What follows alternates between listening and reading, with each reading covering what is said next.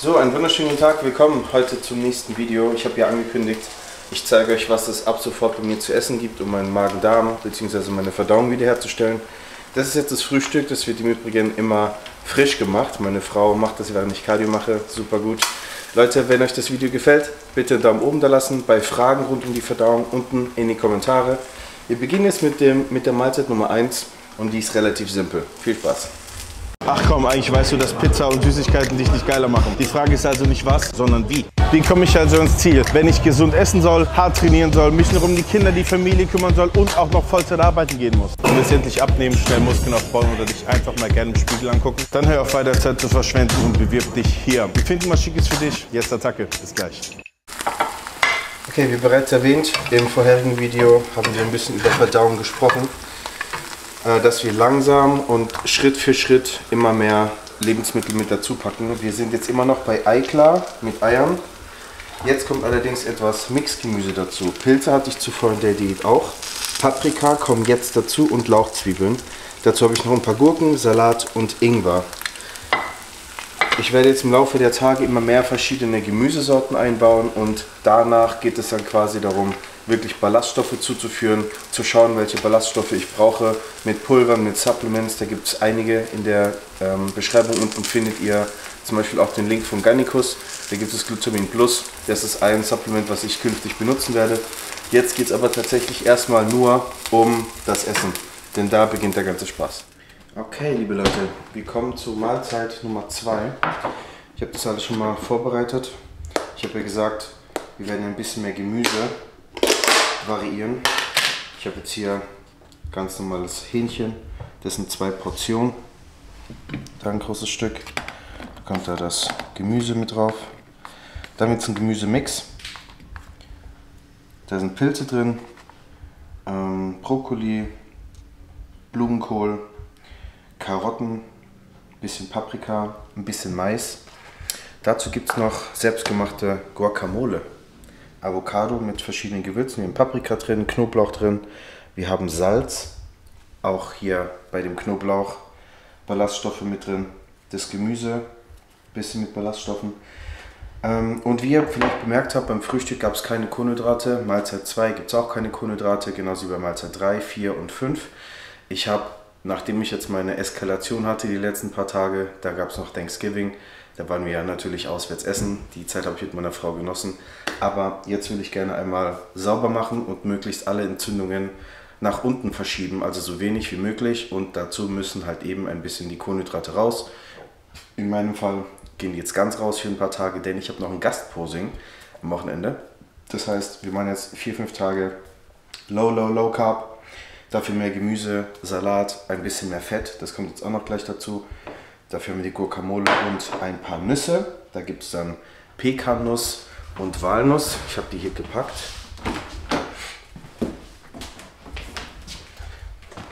Das hier ist so ein Nussmix mit getrockneten Früchten.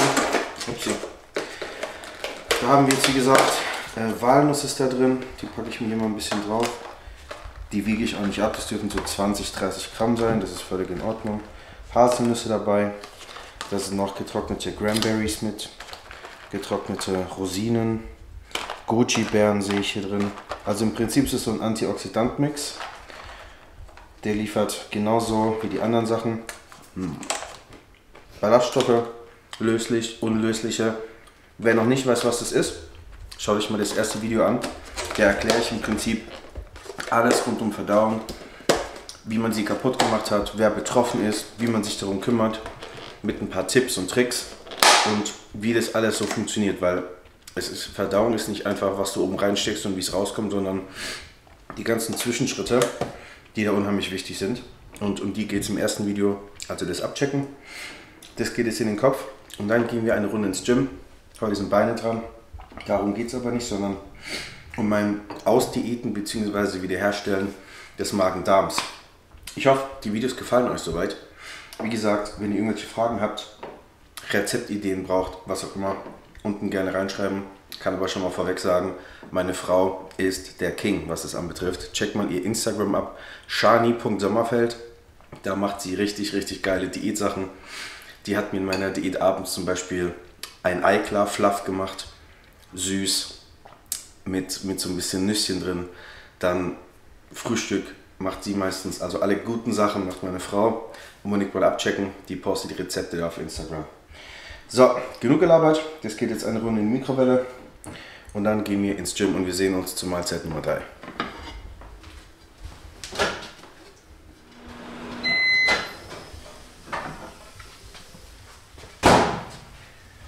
Here we go. Und natürlich ah, traditionsgemäß Salat. Bisschen Gurke, auch Ballaststoffe, genauso wie der Salat. Der hat auch Ballaststoffe. Außerdem sind die Kalorien, die ich gerade esse, vom Volumen her relativ hoch, aber nicht kalorienreich. Das heißt, es erhöht mein Stuhlvolumen, meine Kaki wird größer, also kann man besser auf Toilette gehen, ohne dass man sich viel Kalorien reinschrubbt. Ich denke, ab Freitag werde ich langsam wieder Kohlenhydrate mit dazu packen. Da starten wir ganz normal mit Reis. Und hier nochmal der Master-Tipp, ich verrate den hier mal, weil habe ich im ersten Video schon gesagt. Kalt den Reis essen. Also man macht den Reis, stellt ihn kalt, lässt ihn auskühlen und dann entwickelt sich resistente Stärke.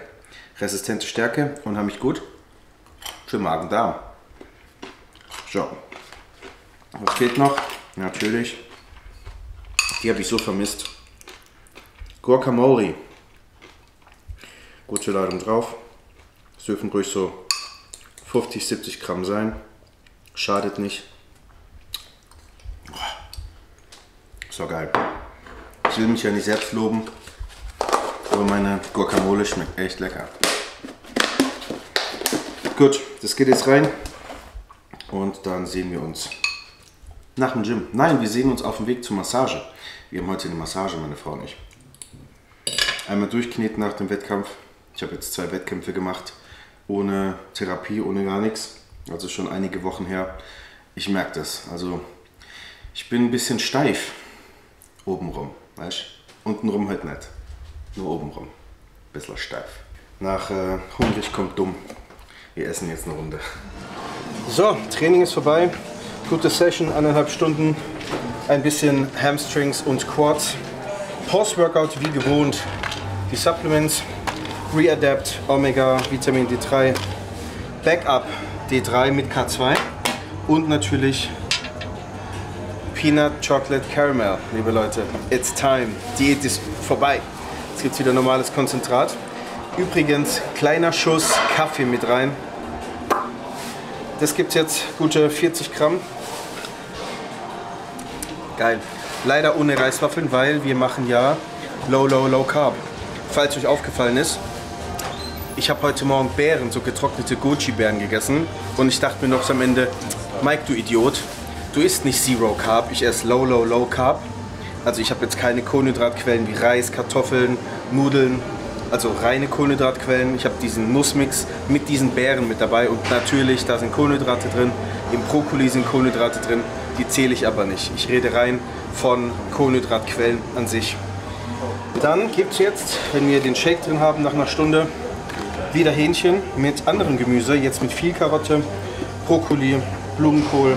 Unten sind noch ein bisschen Maiskörner drin, verschiedene Gewürze. Kann ich das mal zeigen, wie schön das hier aussieht. Ich wollte nur noch mal anmerken, dass es jetzt mal ausnahmsweise kein weißer Fisch. Weißer Fisch oder die weiße Fischperiode ist zum Glück beendet. Meine Frau dankt mir, sie lacht schon ganz fleißig hinter der Kamera. Und bevor ich es vergesse, das ist mir ganz, ganz wichtig, ganz, ganz großes Shoutout an die Jungs von Level Equipment. Ich kann euch sagen, seit ich diese Tasche habe, hat sich mein Leben drastisch verändert. Hört sich krass an, ist aber so, da passt alles rein. Mit dieser Tasche bin ich von Bogota hier nach USA, in die USA geflogen und zur Olympia und ich habe da glaube ich 20 verschiedene Fächer drin, Leute. Da passt mein Meal Prep rein, meine komplette Trainingsausrüstung, mein Laptop, Arbeitszeug, Trainingsequipment Übrigens auch Shoutout an Climax, Griffhilfen, ähm, Bandagen für die Knie, Gürtel, da passt alles, alles rein. Die kommen jetzt in den Kopf. Zack. Dass die Werbung vollständig ist. Überall spart ihr natürlich Zum Beispiel 10% bei Garnicus auf die Backup RAs, auf die Supplements. Bei Climax auch mit Mike 10, bei Smilodogs auch mit dem Code Mike und so weiter. Ihr wisst Bescheid. Genug Gewerbung. Jetzt gibt es Supplements in den Kopf und dann geht es zur Massage. Und wir sehen uns zur nächsten Mahlzeit, wenn wir von der Massage nach Hause kommen. Da gibt es nämlich tatsächlich mal was anderes. Ein bisschen.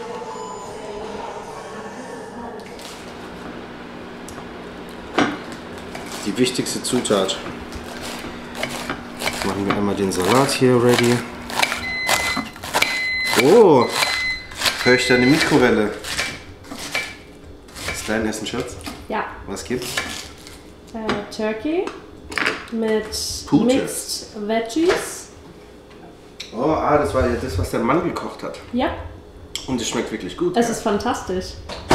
Und man muss mal sagen, die Amis machen hier einfach gehackte Pute. Relativ günstig. Leicht verdaubar, günstig, geht schneller zum Zubereiten und es schmeckt wirklich gut. Guten Appetit, mein Schatz. Dankeschön. Der kommt jetzt erstmal hier rein, so ein bisschen. Dann tauschen wir noch ein bisschen mit Gurke. Haben wir noch ein bisschen Salat vorbereitet für die nächste Mahlzeit. Hervorragend. Und dann gibt es jetzt gleich noch, ich zeige euch das einmal, natürlich noch Avocado. Ein bisschen Fett brauchen wir ja auch. Zack, machen wir das mal hier drauf. So gute 50, 70 Gramm dürfen das sein. Und jetzt gibt es endlich seit Monaten Rindfleisch. Geil, oder? Ich habe übrigens mal ein Zewa reingelegt, dass das Fett ins Zewa geht Smart. und nicht in mein Essen. Smart.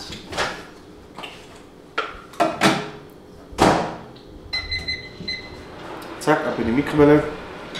Kurz zur Erklärung. Avocado für Fette, Omega-3, wichtig in Ballaststoffen, wichtige Nährstoffen. Salat, Ballaststoffe, haben wir auch schon drüber gesprochen in Video Nummer 1. Gurke, Ballaststoffe. Dann haben wir Rindfleisch als Proteinquelle, selbstverständlich. Und gemixtes Gemüse. Da haben wir jetzt wieder dieselbe äh, Zusammenstellung. Wir haben ein bisschen ähm, Champignons, also ein bisschen Pilze, ein bisschen Paprika, Mais, Blumenkohl und Brokkoli. Ein bisschen Hühnchen, Roastbeef, eine Pizza. ein bisschen Hühnchen, Roastbeef, eine Pizza. Ja, aber ich muss sagen, der erste Tag Low Carb ist ziemlich entspannt. Ich hatte verdammt viel Essen ab Thanksgiving, das hält noch einige Tage. Ich denke aber so in ein, zwei Tagen gehen die Energielevel runter und dann ist es auch an der Zeit, dass wir ein bisschen Kohlenhydrate essen, glaube ich. Ja? Mahlzeit Nummer 3. Gibt es ein paar Subs dazu. Ähm, was ist das? Kidney, also ein Nieren, ein Nierensupplement, was hilft, wasserlos zu werden. Wir haben Omega-3, die Omega-3 von Gannicus. Und nochmal, ich glaube, Readapt müsste das sein. Die sehen alle gleich aus. Ah nein, das ist Thyroid Support für die Bauchspeicheldrüse. Äh, ja. ja. Wunderschön. Hoffentlich esse ich jetzt nicht das Zebra mit hier. Kommt da drauf.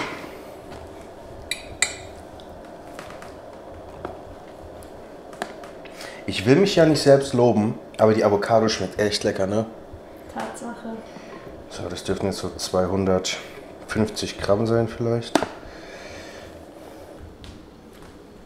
Mit dem Zebra. 226,5 ohne 213,5. Okay, kein Problem. Ich schnapp mir noch ein bisschen Turkey.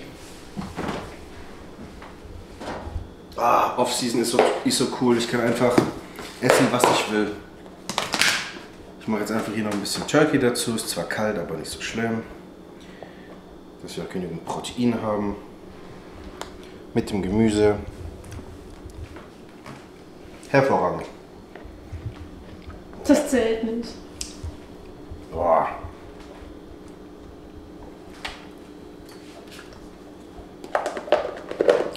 Kann man nicht haten, würde der Henrik jetzt sagen. Ganz liebe Grüße an den Henrik. So. Würde ich sagen, Schatz, essen wir mal. Leg doch endlich mal die Kamera weg. Du Mensch. bist immer nur an der Kamera. Immer die scheiß Influencer. Ja, ist echt schlimm, ne? Man kann nicht mehr in Ruhe essen heute. Immer muss irgendeine Kamera dabei sein, irgendein Handy, einen komischen Influencer-Pack. Pfui. Bah. Wir sehen es beim Abendessen. Wir haben jetzt hier einige leckere Sachen. Das ist eigentlich so die Mahlzeit, auf die ich mich am meisten freue. Wir haben Probiotic Joghurt. Wir haben Low-Fat Cottage Cheese, also Königen Frischkäse. Wir haben hier Peanut Butter Pulver. Das ist voll mit Anti Antioxidantien, sage ich schon. Mit Ballaststoffen. Das hat sehr wenig Kalorien. Also eine ganze Portion 1,5 Gramm Fett, 5 Gramm Carbs und das mischen wir in den Joghurt, dass wir so einen fetten, geilen Protein äh, Peanut Joghurt haben. Dazu gibt es noch Physilum Husk, Flohsamenschalen auf Deutsch.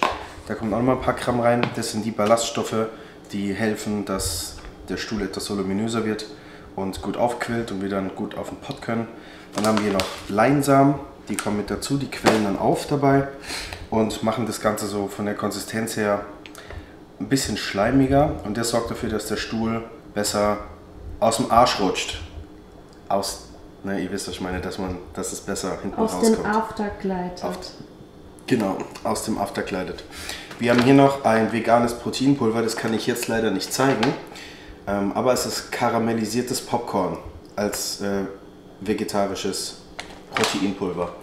Was ist denn da drin? Ah, Das würde mich interessieren. Wir haben Protein Plant, wir haben Protein Isolate aus Reis, wir haben Erbsenprotein, Hanfproteinisolat und äh, Soja ist noch mit drin. Ähm, der Grund dafür, ähm, ich habe jetzt relativ viel tierische Produkte gegessen, über die ganze Diät, ganz viel Hähnchen, dann zum Ende hin viel Fisch. Ähm, ich will versuchen, diese tierischen Proteinquellen etwas zu senken. Das gehört jetzt mit zu der Recovery dazu. In einigen Wochen wird da ganz mal wieder Rindfleisch reinfliegen und äh, Hähnchen und sowas. Dann geht es hier weiter. Wir haben natürlich noch hier unseren Antioxidants Beeren- und Nussmix. Der geht auch langsam neigt sich äh, dem Ende zu. Das liegt daran, dass ich gerne mal nasche und ich jetzt darf, weil ich nicht mehr auf Diät bin. Okay, wir haben hier noch eine Zero ähm, Schokosoße mit, mit Schokobanane. Die ist ziemlich sexy, da kommt nur ein bisschen drüber. Ich habe ja gesagt, Konservierungsstoffe, der ganze Kram ist nicht so gut. Hatte ich aber tatsächlich lange Zeit in der Diät drin, also mein Körper ist es gewohnt.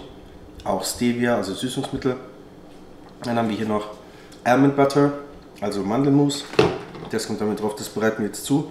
Und dann haben wir durch die Milchprodukte Milchsäurebakterien, wir haben Antioxidantien, wir haben Vitamine, wir haben Fette, wir haben Proteine, wir haben alles, was wir brauchen für ein hervorragendes Abendessen. Das würde ich euch auch empfehlen.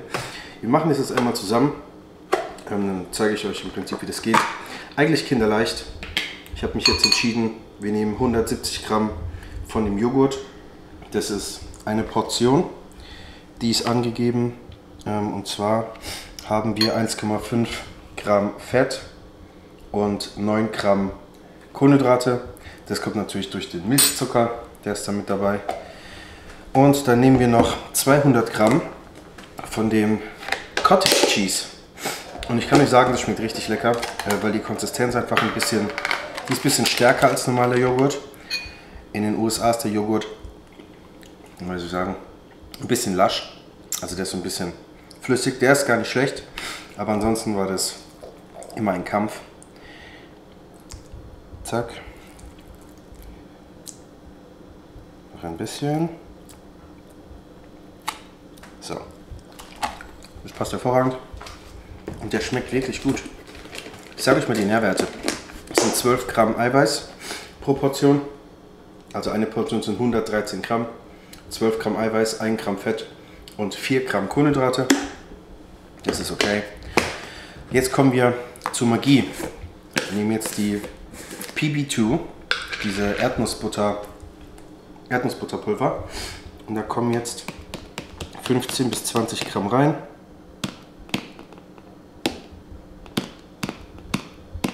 Hervorragend. Dazu noch einen kleinen Schuss von der Mandelmilch. Das Ganze wird nämlich gleich etwas dicker, denn wir machen da Flohsamenschalen rein. Die Flohsamenschalen Die binden die Flüssigkeit und machen das Ganze so ein bisschen fester. Ich mache hier so 3-4 Gramm rein. Perfekt. Jetzt muss das Ganze relativ flott umgerührt werden, weil wie gesagt, das dickt relativ schnell ein und macht dann so eine etwas schleimigere, ist nicht schleimig, aber so eine festere Konsistenz. Die quillt im Bauch, im Magen dann ein bisschen auf, zieht etwas Flüssigkeit mit sich und äh, dann kann man besser auf Toilette gehen. Das ist so, also ich finde es immer ganz angenehm, wenn ich am nächsten Morgen aufstehe, meine Zitrone trinke und bevor ich zum Cardio gehe, einmal richtig dick auf die Toilette gehen kann. Dann fühlt man sich vom Cardio nicht so schwer, die Verdauung, die rutscht nach, so, das stoppt nicht alles, ihr wisst, was ich meine, so das ganze Essen vom Vortag, das hängt dann einfach nicht so lange drin. Dann fühlt man sich besser. Ich habe auch gemerkt, wenn ich nicht aufs Klo gehen kann, also wenn die Verdauung nachhängt, dann ziehe ich Wasser. Das mag vielleicht daran liegen, dass man Giftstoffe nicht so gut ausleitet. Das mag daran liegen, äh, warum auch immer. Ich kann es euch nicht sagen, aber ich habe das bei mir gemerkt. Je besser ich aufs Klo kann, desto besser mein Wasserhaushalt. Okay, soweit so gut. Jetzt kommen hier die Leinsamen mit dazu und das Ganze muss tatsächlich mal so eine halbe Stunde ziehen. Also ich würde es jetzt nicht unmittelbar essen, nachdem ich sie reingemacht habe. Jetzt äh, ist natürlich mit meinen Wurstfingern nicht so einfach. Zack.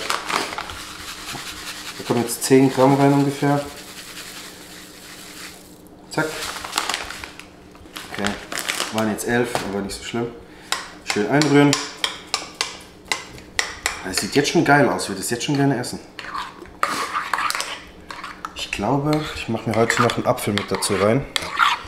Ihr wisst ja, Apfel, Ballaststoffe, Wasser unlöslich, also Pektin, sehr, sehr wichtig. Jetzt kommt hier noch ein bisschen hier von meinem Antioxidanzmix drauf.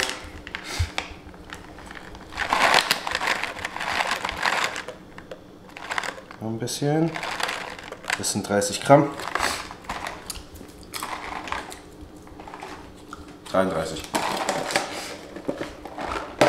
Ein Traum. Und jetzt zu meinem Favorite Part, die Almond Butter. Die ist so cremig. Ich muss nicht mal rühren, Achtung. Ist ziemlich sexy, was gleich passiert. Mhm. Boah, guckt euch das mal an.